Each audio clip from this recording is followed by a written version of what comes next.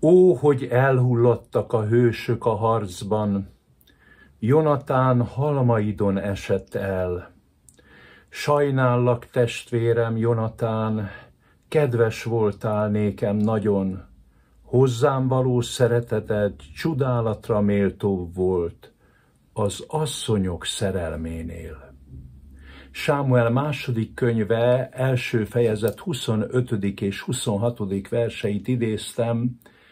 Egy barátság végére ezt tette ki a pontot, amikor egy csatában az apjával együtt, Saullal együtt Jonatán is elesett, Dávid ídal gyász éneket szerzett a tiszteletükre, és ennek a gyász éneknek a végén mondja, hogy csodálatra méltó volt Jonatán a te szereteted, csodálatra méltó volt ez a barátság, ebből a barátságból éltem, mert ez nagyobb volt az asszonyok szerelménél.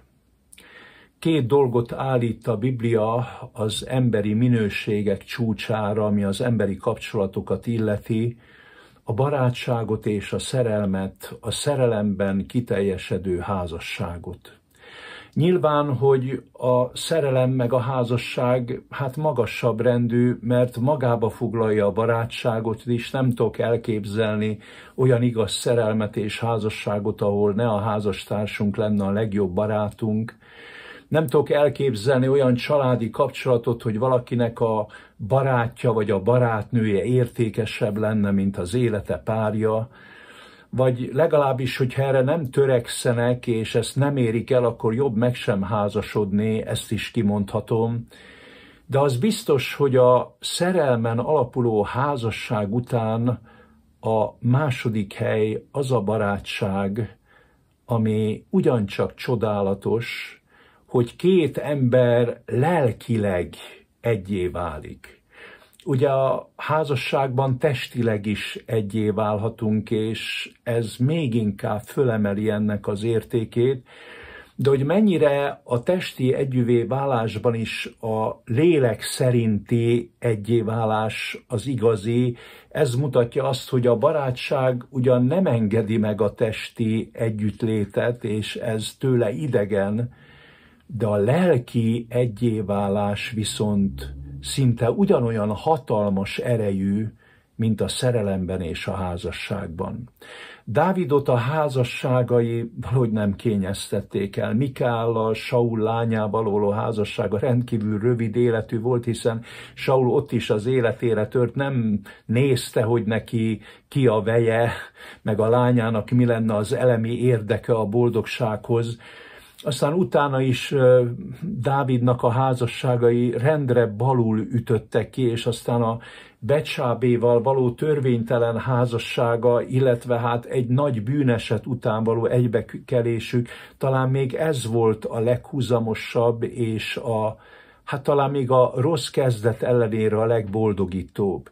De az biztos, hogy Dávidot ez a barátság éltette hosszú időn át, mint hogy a magyar irodalomban is azt látjuk, hogy csodálatos nagy szerelme volt Petőfi Sándornak Szendre Júlia, és ez is házassággal végződött, és hát alig két évig tartott, de a Szendre Júliával való szerelem mellett azért az Arany Jánossal való barátsága, hát az is csak két és fél évig tartott, mert Hát 1847. januárjában, amikor a kisfaludi társasághoz berontott Petőfi, hogy ki az, akinek az első díjat adták, és, és többször is elolvasta a toldit, attól fogva 1849. július 31-ig Petőfi haláláig Csodálatos ez a Petőfi aranybarátsága, maga 61 néhány levelével, 11 néhány versével, mert csak Arany János több mint 10 verset írt, no nem címszerűen, csak a verseiben elrejtve Petőfi emlékére. Ennek a csodálatos barátságnak adózott Dávid ezzel az ídalával, és ugye a lelkünkbe hasít az, hogy az asszonyok szerelménél is nagyobb volt az a szeretet, amit Jonatántól kapott, Hát igen, lesz miről gondolkozni majd az ezer éves ítéletben és az örök életben, hogy Isten mifelé teljesíti ki majd azt a szeretetet, amire építette az egész világ mindenséget, angyaloknak, más értelmes lényeknek, mi nekünk embereknek is az életét, minden csodálatos örömben és boldogságban a földi életben ott van egy fájdalom, mert csodálatos a barátság, de utána ez a félmondat rész egy kis fájdalmat is belecsempész ebbe, hogy ez a barátság nagyobb volt az angyalok szerelménél, illetve az asszonyok szerelménél. Hát igen, a földi életben nincs tökéletesség, az majd az örök életben lesz. De azért mind a kettő hatalmas támaszunk az életben, a szerelem is, és a barátság is. Boldog ember, aki ezek jegyében élhet.